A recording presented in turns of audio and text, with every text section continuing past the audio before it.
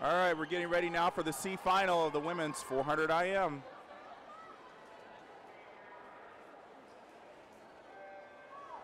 Let's set the lanes. Lane one, Rachel Bradford Feldman from St. Andrews Swimming. Two, Jordan Morling, St. Charles Swim Team. Three, Abigail Jones, Nova, Virginia. Four, Marissa Delgado, Cincinnati Marlins. Five, Cameron Curry, Poseidon Swimming. Lane six, Car- Carrie Boone, Nation's Capital. Caroline Wanner and from Rappahannock Y Swim Team in seven, and Michaela Herrick for Northern Kentucky Clippers in lane number eight.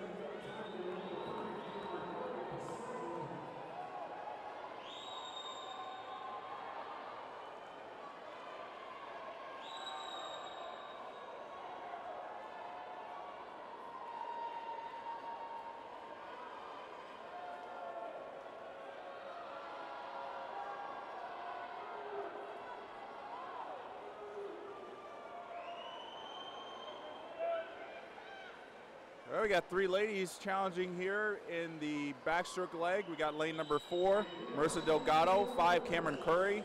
Six, Carrie Boone.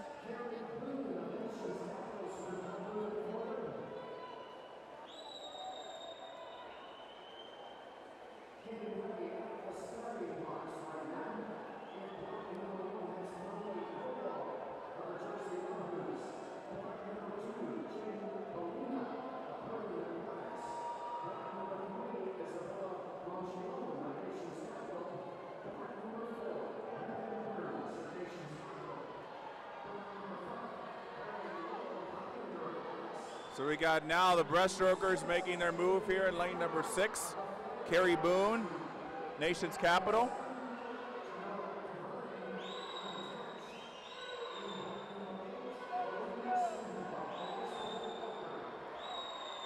Make, coming back in it is Marissa Delgado in lane number five. Sorry, Cameron Curry in lane number five.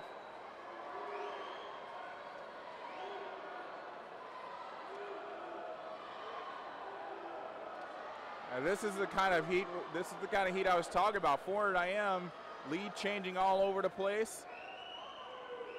Strengths and weaknesses being played on all of these strokes.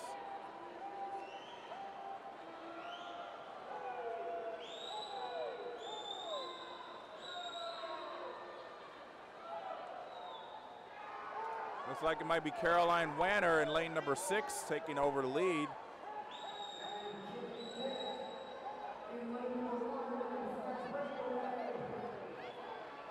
Now we got Rachel Bradford Feldman in lane one. She's been making a big push this 50 meters, and she will have the lead, 350.51.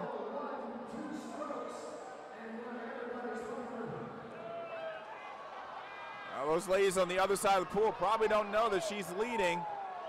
They probably see some splashes over there. They're not fully aware. But Rachel Bradford Feldman is kicking hard. She knows she's in the lead. She doesn't want to let it go.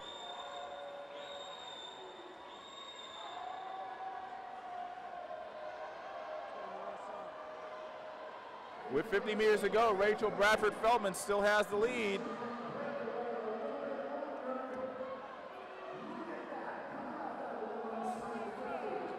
And we got a nice battle for second. I think it's four, five, and seven. Rachel Bradford Feldman is coming in. Looks like she's going to win this C final.